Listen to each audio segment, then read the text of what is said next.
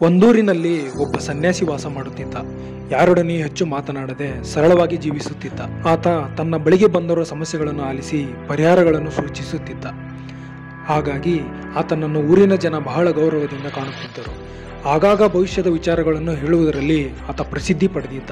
ಅವು ನಿಜವಾಗುತ್ತಿದ್ದವು. ಆದ್ದರಿಂದ ಜನರಿಗೆ ಆತನ ಭವಿಷ್ಯವಣೆ ಮೇಲೆ ಬಹಳ ವಿಶ್ವಾಸವಿತ್ತು. ಆ ಊರಿನಲ್ಲಿದ್ದ ಒಬ್ಬ ಯುವಕ ಈ ಸನ್ಯಾಸಿಯ ಭವಿಷ್ಯ ನುಡಿಯುವುದೆಲ್ಲ ಬೂಟಾಟಿಕೆ.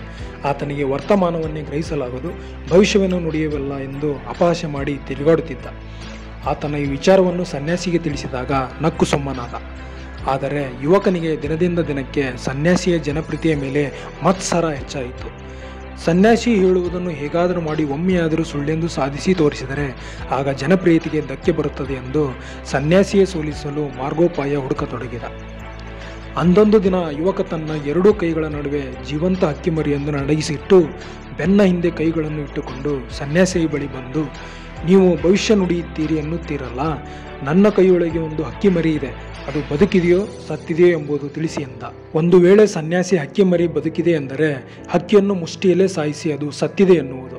ಹಕ್ಕಿ ಸತ್ತಿದೆ ಎಂದು ಸನ್ಯಾಸಿ ಹೇಳಿದರೆ ಜೀವಂತ ಹಕ್ಕಿಯನ್ನು ತೋರಿಸುವುದು. ಆ ಮೂಲಕ ಸನ್ಯಾಸಿಯನ್ನು ಸೋಲಿಸುವುದು ಎಂದು ಆಲೋಚಿಸಿದ್ದ.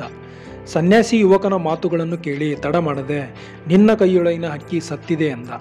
ಯುವಕ ಅಟ್ಟಹಾಸದಿಂದ ನಗುತ್ತಾ, ಕಪಟಿ ಸನ್ಯಾಸಿ, ನೋಡು ಹಕ್ಕಿ ಬದುಕಿದೆ ಎಂದು ಮುಷ್ಟಿಯನ್ನು ತೆರೆದ.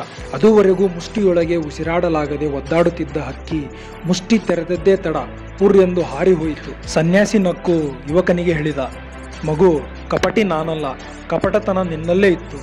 ಆ ಹಕ್ಕಿಯ ಬದುಕು ಮತ್ತು ಸಾವು ಎರಡೂ ನಿನ್ನ ಕೈಯೊಳಗೆ ಇದೆ ಎನ್ನುವುದು ನನಗೆ ಗೊತ್ತಿತ್ತು. ಆದರೂ ನಾನೇಕೆ ಅದು ಸತ್ತಿದೆ ಎಂದು ಎನ್ನುವುದು ಗೊತ್ತೇ? ಹಾಗೆ ಹೇಳಿದರೆ ನೀನು ಹಕ್ಕಿಯನ್ನು ಜೀವಂತ ಉಳಿಸಿತ್ತಿ ಎನ್ನುವುದು ನನಗೆ ತಿಳಿದಿತ್ತು. ಹಕ್ಕಿ ಉಳಿಯುವುದು ನನಗೂ ಬೇಕಿತ್ತು. ನನ್ನ ಗೆಲುವು ಅಥವಾ ಸೋಲಿಗಾಗಿ ನಿಷ್ಪಾಪಿ ಹಕ್ಕಿ ಬಲಿಯಾಗುವುದು ನನಗೆ ಬೇಕಿಲ್ಲ. ಮಾನವೀಯ ಗೆಲುವಿಗೆ ಕಾರಣವಾಗುವ ಇಂಥ ಸಾವಿರ ಸೋಲುಗಳನ್ನು ನಾನು ಹೆಮ್ಮೆಯಿಂದ ಸ್ವೀಕರಿಸುತ್ತೇನೆ ಎಂದ. ಯುವಕ ಸನ್ಯಾಸಿಯ ಮಾತು ಕೇಳಿ ತಲೆಬಾಗಿ ವಂದಿಸಿ ತನ್ನ ತಪ್ಪನ್ನು ಒಪ್ಪಿ ಕ್ಷಮೆ ಕೇಳಿದ.